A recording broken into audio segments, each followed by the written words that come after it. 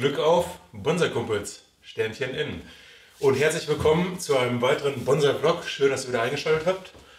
Ja, ähm, was haben wir diesmal auf dem Tisch? Ähm, der Orange Dream. Ich weiß nicht, der eine oder andere kann sich vielleicht noch daran erinnern.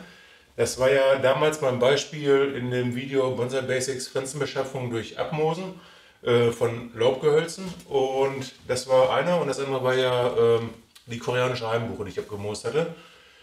Ja, den hatte ich dann, als ich ihn fertig abgemoost hatte, in diesen doch sehr großen Teichtopf gesetzt und so in eine Ecke gestellt. Jetzt zum Früh, also dann letztes Jahr erstmal wachsen lassen. Das war ja auch relativ spät die Abmosung. Ähm, jetzt im Frühjahr habe ich ihn trotzdem erstmal anwachsen lassen, bevor ich irgendwie einen Frühjahrschnitt sozusagen gemacht habe, was ich jetzt gleich so teilweise ein bisschen nachholen will. Und ähm, ihr seht, dass die Blätter in einem sehr, sehr schlechten Zustand sind. Die sehen teilweise verbrannt aus, wobei ich sagen muss, das hat er jedes Jahr so ein bisschen, aber dieses Jahr ist extrem. Und warum ist das so extrem? Und zwar war das ganze Ding randvoll mit Blattläusen, also so richtig randvoll mit Blattläusen. Und ich habe überhaupt keine Erfahrung, was so Pflanzenschutzmittel angeht. Aber in der Garage mal geguckt, äh, was gefunden äh, von Bayer, äh, Blattanex. Wird wahrscheinlich mittlerweile verboten sein, weil das Mindesthaltbarkeitsdatum ist bis 2007, also das ist wahrscheinlich 20 Jahre alt. Äh, was steht hier drauf? Äh, schnell und sichere Wirkung. Und das stimmt. Also die Blattläuse sind weg und die Blätter sind weg. Geil, oder? Jetzt muss ich sagen, ähm, ich neige immer so ein bisschen dazu, viel hilft viel. Äh, ich habe den einmal eingesprüht und dann habe ich das so ein bisschen trocknen lassen und habe den nochmal eingesprüht, extra ähm, an einem Tag, wo ich wusste, nächsten Tag wird es regnen und auch ein bisschen bewölkt sein und den habe ich auch nicht in der Sonne stehen lassen. Aber ich glaube, dieses Platanex, also dieses Pflanzenschutzmittel ist es ja nicht, dieses Insektizid, also Herbizid, ich weiß nicht, ähm, dass das schon eine sehr aggressive Wirkung hat und auch die Blätter zum Verbrennen gebracht hat. Man sieht das auch gerade so bei dem ganzen Jungaustrieb, dass der quasi verbrennt. Jetzt ähm, könnte man sagen, ja, das, vielleicht lag es doch an den Blattläusen etc. Nein, ich habe das auch noch bei vielen anderen Bäumen gemacht. Und so ziemlich jeder Palmatum, der bei mir steht, ähm, kam damit nicht sehr gut klar. Es gibt ein, zwei Sorten, da hatte ich es auch gemacht, weil dieses Jahr ist ja alles irgendwie anders. Wir haben ein schlechtes Frühjahr gehabt, wir haben einen schlechten Frühling sozusagen gehabt. Wir haben jetzt Mitte Mai, der ist wenigstens einigermaßen gut ausgetrieben. Ich habe ähm, Palmatums, die so gut wie noch gar nicht ausgetrieben haben, die gerade so das erste Blattpaar aufgeschmissen haben. Weil irgendwie der Sommer lässt ja dieses Jahr so ein bisschen mit sich warten oder überhaupt ein bisschen das wärmere Frühjahr, muss man sagen. Ähm, und irgendwie waren an ziemlich vielen Asa palmatums gerade sehr viele Blattläuse. Unter anderem, ähm, ja, doch an vielen Asa palmatums tatsächlich. Ich habe hier ganz viel stehen, weil ich jetzt eigentlich anfangen wollte mit ähm, der Abmoos-Session sozusagen. Und da habe ich mir gedacht, hier mache ich nochmal so einen Frühjahrschnitt, hier machen wir so ein Langzeitprojekt draus. Und eigentlich wollte ich hier dann zum Beispiel gar nichts abmosen. Jetzt gerade kam mir schon wieder so viele Ideen, weil ich das ganze Abmooszeug ja schon vorbereitet habe. Ähm, hier ein, zwei Äste wollte ich ja nicht abschneiden jetzt und habe mir gedacht, ah, die könnte ich auch präparieren, um die abzumosen. Jetzt sieht der ein bisschen wild aus und gerade diese kleinen Äste, da komme ich mit diesen Dosen nicht dran, die ich immer so, nur um es mal zu zeigen, das sind die Deckel. Und das sind ja die Döschen, die ich alle schon vorbereitet habe für meine ganzen Abmosungen. Die sind ja relativ riesig und hier was abzumosen mit ist hier ein bisschen blöd, weil das alles so eng ist und da stehen mir die Deckel an. Und jetzt wäre die andere Sache, das mit Folie zu machen. Ich habe mir auch schon ein bisschen Folie parat gelegt, aber ich finde das Gefrickel mit dieser Folie, dann da drum und mit dem Draht und dann da irgendwie rein, oh, das, da habe ich irgendwie nie Lust zu, muss ich sagen. Was auf jeden Fall klar ist, der Ast, der hier vom Seitentrieb, ist ein Doppelstamm geworden. Hier unten ist der dicke Doppelstamm, falls man das sieht, aber das seht ihr gleich noch näher, keine Sorge.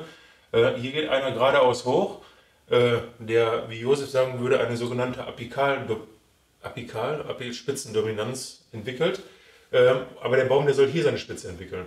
Und hier sind die Seitentriebe auch so hoch und gerade hier an dem Haupttrieb, wo ich quasi den Hauptstamm sehe, sind sehr viel von den jungen Trieben durch das Zeug verbrannt. Das werde ich jetzt erstmal ein bisschen korrigieren. Ich werde ein bisschen Altholz abschneiden und ich glaube, den hier werde ich jetzt schon versuchen abzumosen, weil der soll definitiv fallen. Und der hat ja auch genug Laub, würde ich mal sagen, dass eine Abmosung auf jeden Fall funktionieren sollte. Und der hat hier jetzt auch schon nach dieser Sache, also das ist jetzt schon 14 Tage her bestimmt, ähm, Neuaustrieb ähm, gezeigt, der jetzt wieder daraus ähm, resultiert aus den alten Knospen. Also es war so eine Art Blattschnitt, müsste man sagen. Ja, und da werde ich einfach mal hier mit einem so ein Döschen versuchen. Das müsste so von der Höhe passen, hatte ich mir gerade schon ausgeguckt. Habe ich schon mal den ersten. Den Rest, den schneide ich so ein bisschen zurecht. Der kann auch erstmal hier den Seiten austreiben, auch wenn er die Spitze nicht mitnimmt. Alles cool. Und dann müssen wir mal gucken, wie viele Pflanzen wir da gewinnen. Und vielleicht gibt es hier irgendwann einen Orange Dream Clumster. Das wäre so gerade. Deshalb hatte ich da gerade so ein bisschen darüber nachgedacht. Ich wollte es erst abschneiden, dann habe ich darüber nachgedacht, Stecklinge zu machen, aber ich und Stecklinge, ne, das, das lassen wir lieber sein. Auch keinen Bock, die Schalen alle vorzubereiten. Ähm, ja, deshalb werde ich erstmal einabmosen, dann mal gucken, wie schnell der so Wurzeln macht. Wenn das gut klappt, dann werde ich es vielleicht hier an den Seitentrieben mit so kleinen Tütenabmosungen versuchen. Ja, und der bleibt ja sowieso erstmal so mindestens noch ein Jahr, eineinhalb Jahre hier drin stehen. Ja, und dann müssen wir mal gucken, wie viele Pflanzen wir daraus gewinnen können. Ob wir daraus einen schönen Klammstyle machen können oder vielleicht eine Gruppe oder einen Wald, ich weiß nicht. Je nachdem, in welchen unterschiedlichen äh, Phasen wir quasi was abmosen. Also, wenn ich nächstes Jahr noch was abmose, die haben ja dann teilweise Rückschritte oder Fortschritte. Ihr wisst, was ich meine, wir werden es sehen. Ja, und deshalb würde ich sagen, baue ich das Kammerset ein bisschen näher um und dann gehen wir auch mal ein bisschen näher an den Baum. Dann schneide ich den erstmal außen, knipse den mal so ein bisschen zurecht und mache noch die Abmosung. Ich weiß nicht, ob ich da noch was dazu sagen werde oder ob wir uns erst so am Ende davon noch mal kurz wiedersehen. Und das wird auch ein Langzeitprojekt, ja, erzähle ich das. Wenn ihr das jetzt seht, dann wisst ihr, dass es das ein Langzeitprojekt ist. Und dann gucken wir mal. Und die anderen Abmosungen, die ich jetzt so vorbereite, die habt ihr dann, hoffe ich, schon alle gesehen. Weil da geht es nur um die Abmosung, hier geht es um die Entwicklung dieses Orange Streams. Ja, wollen wir schauen. Ich baue die Kamera um und bis gleich.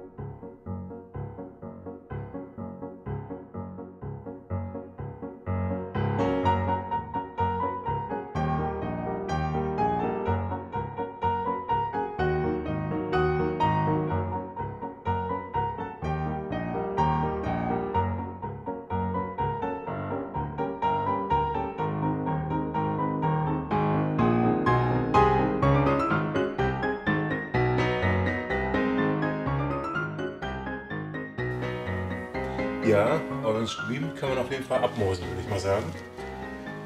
Ja, wir haben jetzt circa acht Wochen später, schlecht vorbereitet, ich weiß nicht genau, wann wir es angefangen haben, aber die Wochen kann ich mal einfach kurz hier einblenden. Ja, und ähm, wir haben das ja mit den Krabbendosen gemacht. Das Coole wieder, dass die durchsichtig sind. Ich kann hier überall von der Seite reingucken, sehe überall die Wurzeln. Die sind sogar sehr feucht. Hier sehe ich auf jeden Fall die Wurzeln im unteren Bereich. Befürchte, der hat im oberen Bereich so ein seitlicher Trieb. Keine Wurzeln gemacht, aber nicht so viel. Und das hier ist eigentlich mit der beste. Hier sieht man so richtig die, diese dicken jungen Wurzeln. Also ganz cool. Und dann haben wir noch einmal hier so ein Klümpchenpapier, so ein Bonbon dran.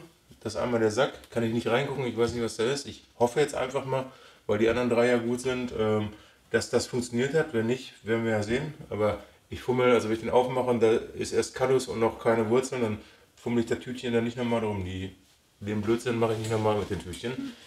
Habe jetzt ein besseres Konzept. Oh, genau, was hatte ich jetzt bei anderen Ahornern gemacht? Äh, ich habe hier so kleine Plastikpünchen. Habe ich genauso wie die Krabbendosen äh, einmal so links eingeschnitten, dass die auf sind und unten ein Kreuz reingeschnitten, so dass die Aststruktur da ist. Wir so zack um den Ast rum, ein bisschen mit Paketband zugemacht, Ast rein, funktioniert tausendmal besser als diese diese Tütchen. Meiner Meinung nach. Dieses Gefummel da mit der Folie und dann da was reinstopfen und dann ist oben nichts und unten was dann zukriegen. Dann kann man die nie vernünftig wässern. Diese, diese Behälter haben ja den Vorteil, dass sie immer hier allein schon durch den Deckel hier oben am Stamm immer so leicht auf sind und ich gieße einfach immer beim Gießen des Baums auf die Döschen drauf und dann bringt sich hier Wasser ein durch den Deckel sozusagen. Und das Paketband, das mache ich auch nicht ganz bis in der Mitte, sondern das ist so in der Mitte so ein Viereck noch und so perfekt. Also mir egal. Ja, ich hätte jetzt gesagt, ich hole euch ein bisschen heran, dann nehmen wir mal die drei oder vier Stellen ab und gucken, ob wir den ersten Euwingsspiel im Klammstyle machen können. Dann mal gucken, was von der Grundpflanze übergeblieben ist, weil um die geht es ja. Das ist ja das, weshalb die ich ja damals schon abgemustert hatte als Doppelstamm. Hat sich auch gut entwickelt. Ich sehe, wie die Wurzeln hier außen schon aus dem Teichtopf teilweise schon rauskommen, die feinen Wurzeln. Also das Ding wird auch eine Granate. Kommt nächstes Frühjahr definitiv hier raus, in eine richtige Schale schon. Dass man den schon mal entwickeln kann zu einem vernünftigen Ahorn. Ja, und dann haben wir schon mal einen Doppelstamm, dann haben wir einen Klammstahl, also diesen Mehrfachstamm hoffentlich aus den Einzelabmosungen. Und dann muss ich mal gucken, der lässt sich ja so einfach und gut abmosen, dass ich dann zum Beispiel eben mit so einem Pinchen mir nochmal so einen Einzelbaum hier ziehe und dann habe ich, wie gesagt, einen Einzelstamm daraus, einmal den Doppelstamm und den Klammstahl. Das sind ja immer so diese drei quasi, die ich von jeder Sorte haben möchte einmal. Ja, so, und jetzt seid gespannt, wie die Wurzeln aussehen. Ich hole euch ein bisschen näher ran und dann gucken wir mal da rein. Ja, hat sich nicht viel getan, oder? Kleine Geschichte am Rande. Wir ändern das Projekt auch so ein bisschen. Und zwar müsstet ihr gerade noch die Aufnahmen, die habe ich einfach mal drin gelassen. Hoffe ich, denke ich. Weiß ich nicht, habe ich mir zumindest vorgenommen. Ähm, wo ich euch gesagt habe, wo die hier noch so schön grün waren. Das war vor circa acht Wochen oder so, wo ich gesagt habe, die möchte ich jetzt abtrennen. Ähm, hatte ich auch vor. Ich nehme das dann immer so auf einmal alles auf, erzähle eine Geschichte zu dem Baum, stelle ich den weg, bleibe hier sitzen, nehme direkt den nächsten dann mache ich eine andere Kameraeinstellung, hole die Bäume wieder hier hin und schnibbel daran rum. Ja, und hatte dann danach mein eigentliches Kabodachi, also ähm, Mehrfachstammprojekt rausgesucht, was ihr auch vor letzten Sonntag, vor ein paar Sonntagen auf jeden Fall gesehen haben müsst schon. Und hatte an dem dann die Pintchen festgemacht. Ähm, und dann war irgendwie so spät und dann habe ich das hier vergessen und vergessen und vergessen und vergessen. Ja, und jetzt kam es dazu, dass ich den anderen Kabodachi aufgemacht habe und Dadurch ändert sich jetzt hier auch das Projektziel ein bisschen. Sollte ja auch ein Kabodachi werden. Also ich wollte aus diesen einzelnen Stücken auf jeden Fall auch so einen Mehrfachstamm zusammensetzen. Jetzt hat sich allerdings gezeigt bei dem anderen Kabodachi, dass sich das mit den Pünktchen hier, hattet ihr, wenn nicht, ich verlinke euch das Video mal hier oben einmal. Da hatte ich ja diese Pünktchen hier zur Abmosung, die ich so eingeschlitzt hatte, an den einjährigen Trieben benutzt. So, wenn man jetzt mal guckt, der hat ja auch super viele geile einjährige Triebe, die ich sogar einmal schon beschnitten hatte. Ähm, allein das hier werden jetzt 1, 2, 3, 4, 5 schon. Und bei dem hat sich herauskristallisiert, dass das mit den einjährigen Trieben abmosen und dann zum Kabodachi formen, dadurch, dass ich das so richtig schön wie so ein Fächer aufstellen kann und die Struktur auch einfach im Moment noch straight geradeaus ist und ich noch keine Seitenverzweigung habe, sich definitiv am besten anbietet für einen vernünftigen Kabodachi. Ja, und aus diesem Grund habe ich mir jetzt schon mal so überlegt, dass ich das gar nicht erst versuche, jetzt diese fünf oder vier Abmosungen zu einem Capodacci zusammenzuformen, sondern ich denke jetzt im Moment auf jeden Fall mindestens 1, 2, 3, 4 Einzelpflanzen zu generieren, obwohl ich noch so im Hinterkopf habe, dass ich eventuell hier habe ich einen Doppelstamm und da habe ich einen Doppelstamm, den ich abgemoost habe, dass ich die beiden vielleicht zusammenführe und dann noch zwei einzelne. Das werde ich gleich sehen, weil dann habe ich einfach viel mehr Orange Streams. Ich habe ja bis jetzt nur einmal diesen Doppelstamm, ich will ja immer Doppelstamm, dann Einfachstamm, da bietet sich ja der schon mal super an. Ist übrigens auch Herbst, also wir haben Mitte Oktober, ich merke, wenn ich die Blätter berühre, dass die schon abfallen. Ist nicht schlimm, funktioniert trotzdem. Keine Sorge, ich habe sowas in der Vergangenheit schon mal gemacht. Ich könnte die jetzt auch im Töpfchen einfach hier dran lassen und die im Frühjahr abmosen. Ich mache das aber jetzt, weil ich jetzt Ruhe und Ordnung hier mit dem Baum haben will und damit ihr jetzt schon mal ein abgeschlossenes Video habt und das vielleicht im nächsten Jahr nachmacht. Ja, deshalb wundert euch bitte nicht, wenn ihr gleich vielleicht sogar alle Blätter abfallen. Das ist überhaupt nicht schlimm. Also die Wurzeln gehen auch nicht ein, wenn der hier dran ist und das Bäumchen auch nicht. Die sind beste Vitalität. Und wie auch beim letzten Video viele drunter geschrieben haben, über Winter die dann aber frostfrei, dies, das. Nein, die brauchen einen ganz kleinen Frost. Klar, wenn es jetzt so wie letzten Winter minus 25 Grad, dann kommen die in eine Garage, dann haben die immer noch minus 5, aber das sollen sie auch kriegen. Und das habe ich schon ein paar Mal gemacht, dass ich Abmosung im Winter dran gelassen habe. Habe die im Frühjahr zum Beispiel auch gemacht, kein Problem. Habe die im Spätherbst, so wie jetzt, abgemacht. Äh, Glycine, zum Beispiel Blauregen, habe ich schon zweimal genau so gemacht, weil der relativ lange braucht, um Wurzeln zu bilden. Ist alles im Frühjahr angegangen, ist alles kein Problem. Und deshalb werde ich das jetzt hier genauso machen und ich habe da auch keine Sorge oder Befürchtung. Und wenn nicht, dann muss ich einfach im nächsten Jahr noch einen ab. Also werden wir jetzt erstmal gucken. So, ich werde jetzt die Stellen mal ausschneiden, ähm, für euch im Zeitraffer. Und wenn wir danach das Ergebnis haben, dann werde ich dazu noch was sagen.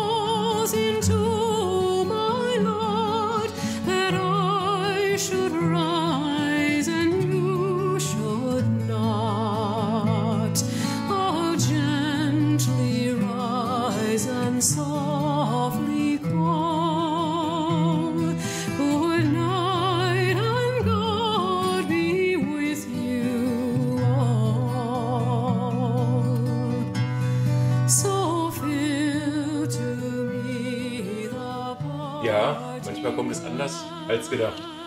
Ja, ähm, ich würde mal sagen, willkommen am Ende dieses Videos. Ähm, es war lang, für mich zumindest, es ging über das ganze Jahr.